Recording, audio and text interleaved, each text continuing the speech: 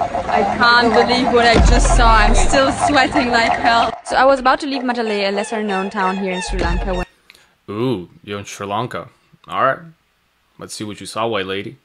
The owner of my guest house told me about a Hindu ceremony happening at the temple that I shouldn't miss. I rushed over and what I saw was astonishing. Thousands of devotees had gathered at the temple, Hindus with hooks pierced into their skin hung from decorated chariots, people had skewers through their cheeks and sharp hooks embedded in their bags. My mouth was wide open the whole time, I couldn't You know, they usually say India is not for beginners. I think we can add Sri Lanka to that list.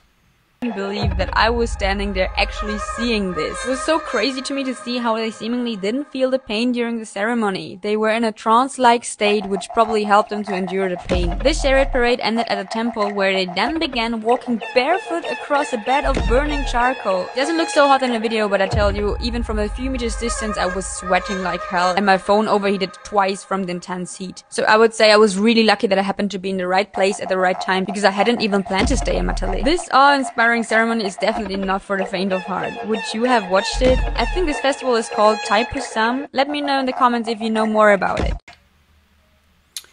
Paganism.